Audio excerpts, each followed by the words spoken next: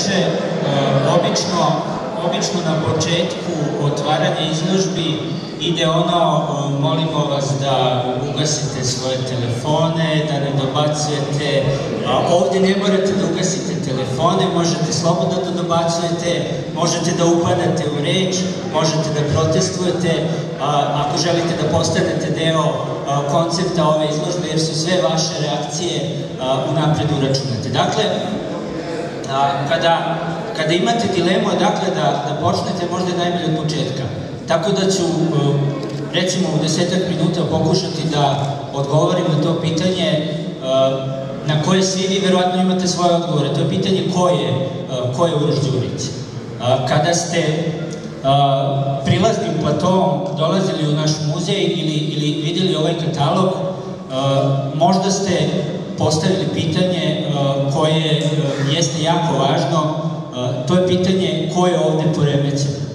Da li je u pitanju umetnik koji ovim radom uspeva da učini nešto, a reći ću vam šta, da li je u pitanju kustos koji je rešio da izložbu ovako nazove, da li je u pitanju muzej koji je umetniku i kustosu dao šansu da ovu provokaciju realizuju, ili svi zajedno. Svaki od mogućih odgovora jeste naravno i tačan i poželjen. A pitanje ko je Uroš Đurić i koliko tog Uroša Đurića uopšte postoji, svako od vas verovatno ima i svako od nas verovatno zna makar po nekog Uroša Đurića.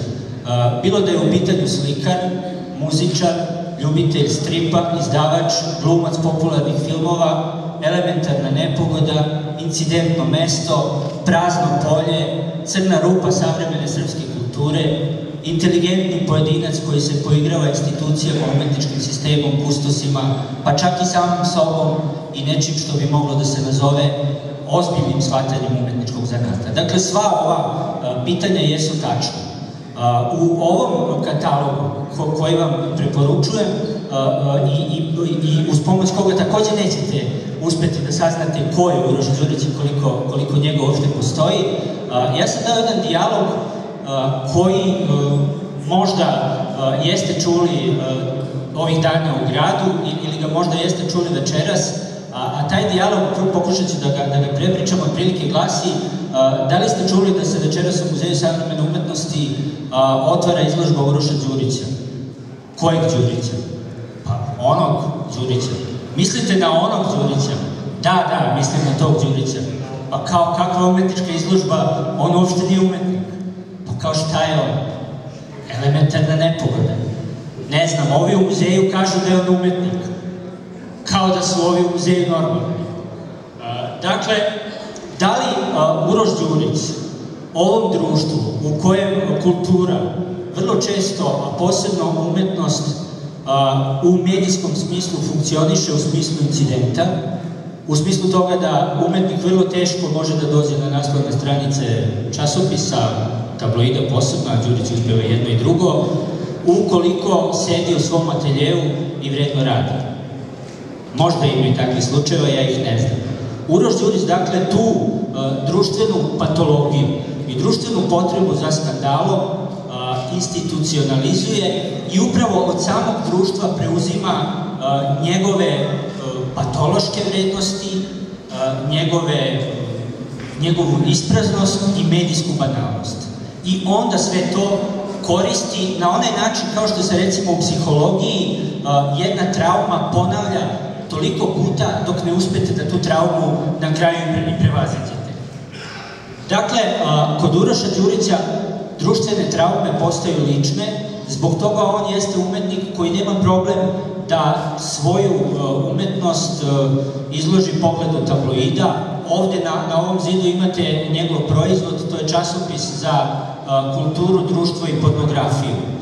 Zašto kulturu, društvo, umetnost i pornografiju, gde Đurić pokazuje da umetnik današnjice jednostavno jeste prinuđen ili ga društvo na to primorava da učestvuje u tom višestruko manipulativnom sistemu na relaciji politika, društvo, mediji, umetnost, umetničko tržište, gde umetničke pozicije nisu nikada do kraja osvojene.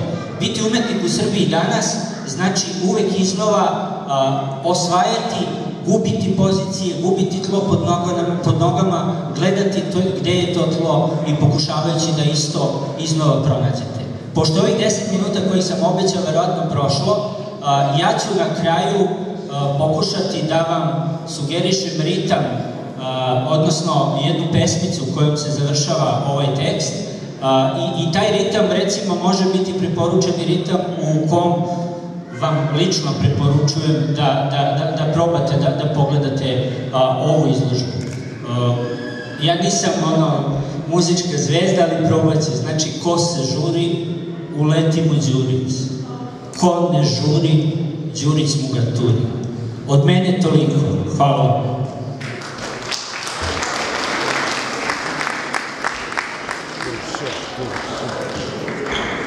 Dobro večer.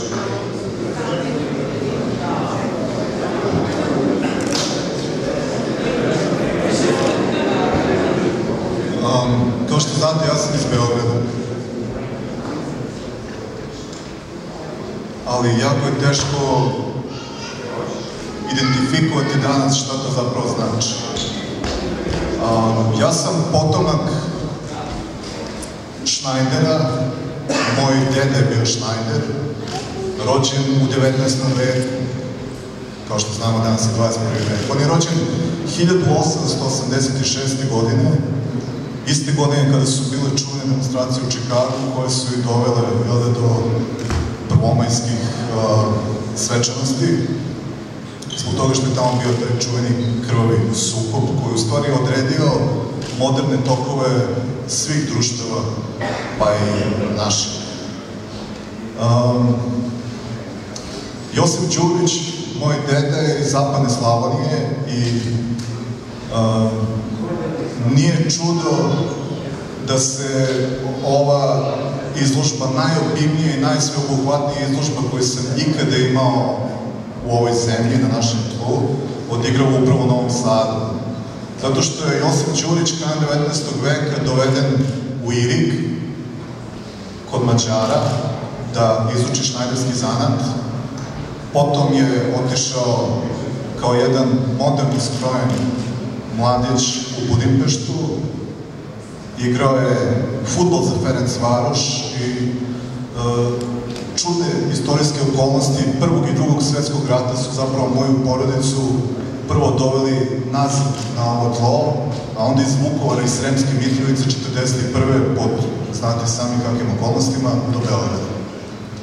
Tako da, e, ako kažem da sam ja ovde kao kod kuće, to nije nikakva udovnička priča. E, to je činjenica gde su ti Đurići pre Vojvodine, pre Zapadne Slavonije zapravo došli iz Dalmacije, u Dalmaciju su došli iz Albanije, a u Albaniji su došli ko zna dakle.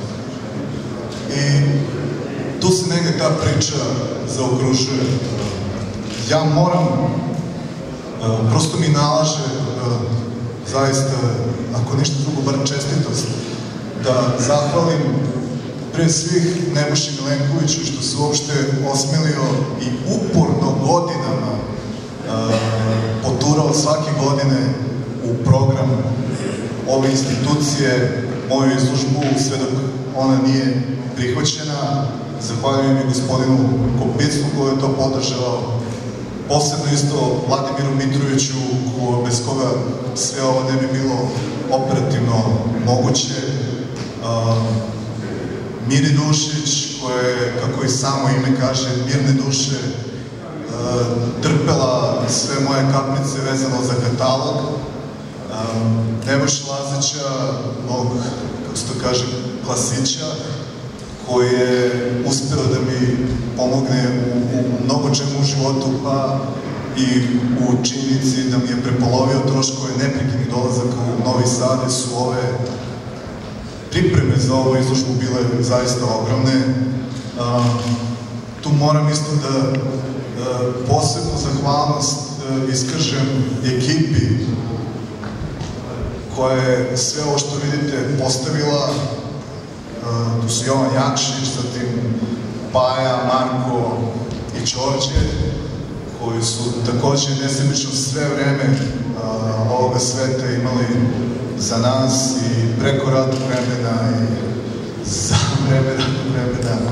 I uopšte, znate, ako postoji jedna jasna svest o tome da nije svaki posao meri novcem, već upravo dostignuće koje ne mora uvek da bude lukrativne prirode, onda je ovo zaista možda do sada bar verovatno najveći uspeh u mom životu i svima vama koji ste me podržavali preko 20 godina računajući tu i sadašnju direktorku uh, Sanju Kojić, Mladenov i mnogi drugi koji su u ovoj instituciji uh, svih ovih godina sarađivali sa mnom još od 93. godine. Uh, svima vama koji ste došli u ovom neverovatnom broju, ja zaista nisam mogao da očekujem, jer ipak ja nisam ovde domaći i uh, zaista ne mogu da verujem da ste vi svi tu i hvala vam od srca.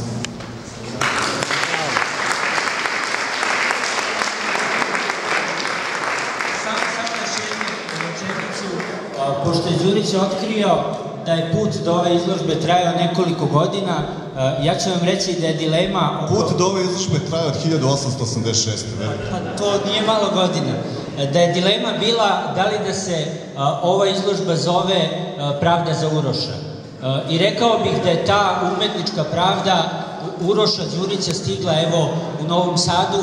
Hvala vam još jednom, koktel je dole, izložba je ovde, bez žurbe.